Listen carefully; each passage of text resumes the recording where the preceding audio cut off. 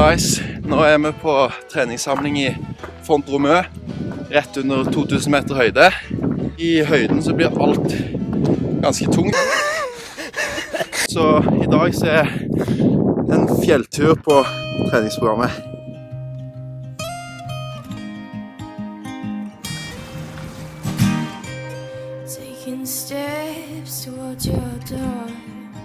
Her er det sånn passe bratt.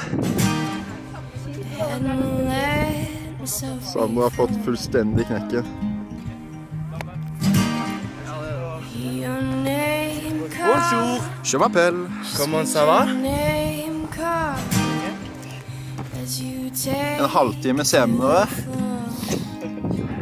Think she likes it